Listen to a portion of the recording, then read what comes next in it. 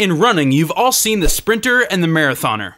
One looks like an 80s movie character, and the other, like he's had too many crash course diets. They're both runners, so how come they don't look alike?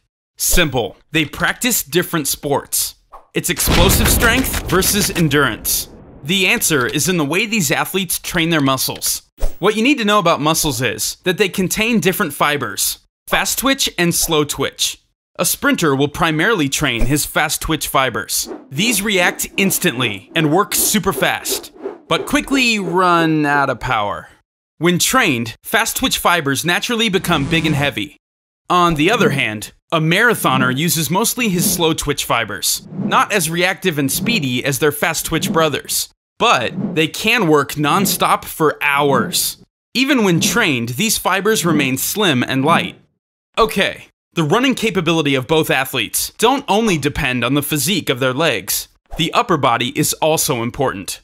For the sprinter, to be able to burst from the starting line and to maintain a good rhythm whilst running, he needs balance. So his arms should have a considerable size as well.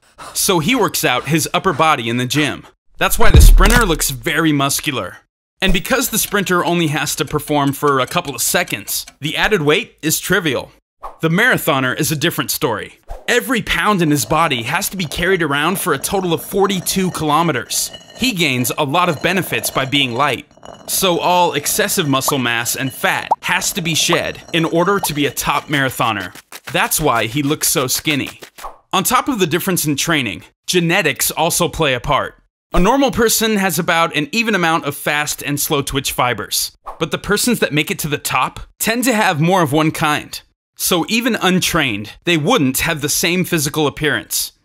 The sprinter and the marathoner, both runners, yet different athletes.